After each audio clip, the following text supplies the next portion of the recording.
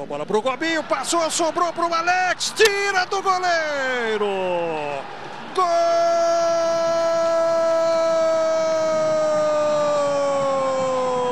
do Coritiba.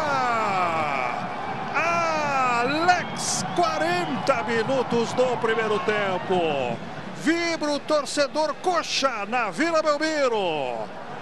Empata o Coritiba, 1 a 1. Belíssima jogada, muito parecida com aquela que o Alex perdeu, só que na primeira bola veio da esquerda, agora da direita. E a defesa do Santos parece que não entendeu que o Alex se movimenta muito ali na entrada da área. Ele já tinha aparecido frente a frente com o Aranha, caprichou demais, acabou perdendo. Dessa vez não.